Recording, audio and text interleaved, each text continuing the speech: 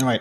A question we get a lot. If you only had $10,000 to invest and you can choose one coin, which one will it be and why? I would say cash because this question is completely wrong. This is horrible investing. Like this kind of thinking is going to get you wrecked. You're going to lose all your money and it's, going to zero. You never want to invest anything into one coin, right? So I want to veto this and say, throw, it, throw this out, throw the baby out with the bathwater for this question, and rephrase it to if you had $10,000 to invest, how would you manage risk while still trying to make money? No matter how smart you are, no matter having the perfect system, you're going to lose all your money doing it this way, right? I'd rather take $10,000 and put it in 10 to 20 coins because putting it all in one coin, you aren't going to, going to do well. The whole rule number one of investing, as mentioned by Warren Buffett, is don't lose money. Rule number two, don't lose money. So if you're putting all your money in one coin, and these are degen coins, altcoins under $100 million market cap, or even under a billion dollar FDV, you're going to lose all your money. Right? So I would not be doing any of that. But if, if you told me, hey, what projects do I like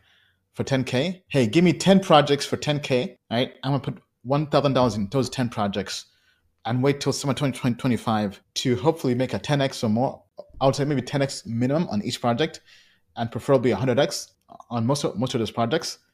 That's a better question, right? So let's say let's rephrase it: thousand dollars across ten coins, a thousand dollars each, basically ten percent into each project that we think can do 100x goes back to the same list, right? Now, I would preface this by saying you have to be swinging for the fences if you're trying looking for 100x, and you have to be comfortable that you lose all your money. Right? Don't cry if you lose your money. Right? That's part of investing. Let's go back to investor, investor grade for daily trading volume. I'm Actually, FDV less than, let's do less than 10, 10 billion for now.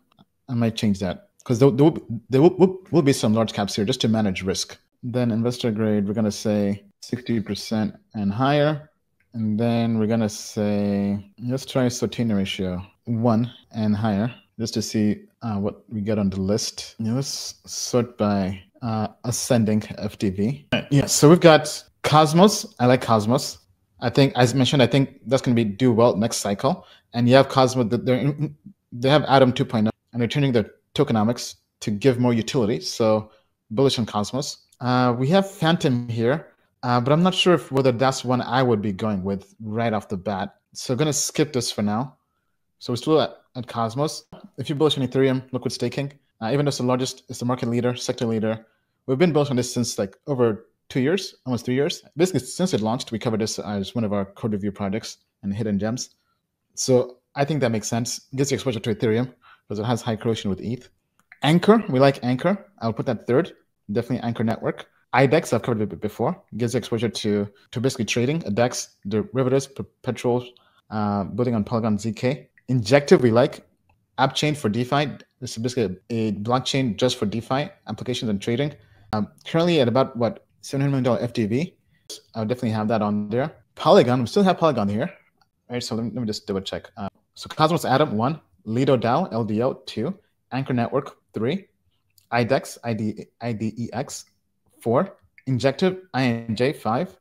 Polygon, Matic, six. Uh, Ocean Protocol gives you that data AI play.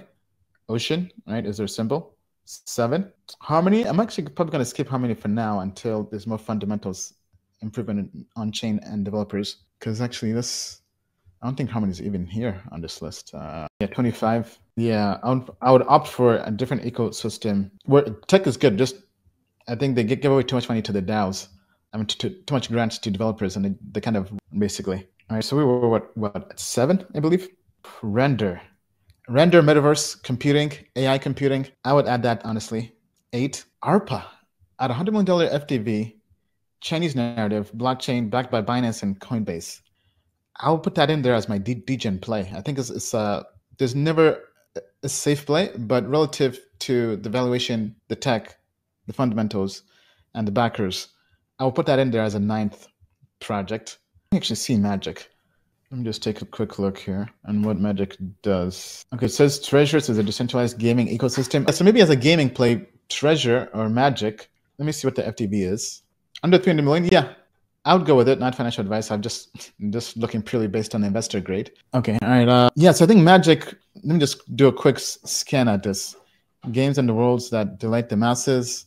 Uh, let's see where it's trading. It's on Binance, BitGet. Okay, yeah. I mean, so that's going back to the question earlier, right? 10 projects for 10K on public markets. Those are the ones. So, quick recap again Cosmos, LDO, DAO, Ankr Network, IDEX, Injective, Polygon, Ocean, Render, and Magic. Bing, bada boom. Thank you for watching this video. If you enjoyed it, we have even more content for you at Token Metrics. Get there using the link down below.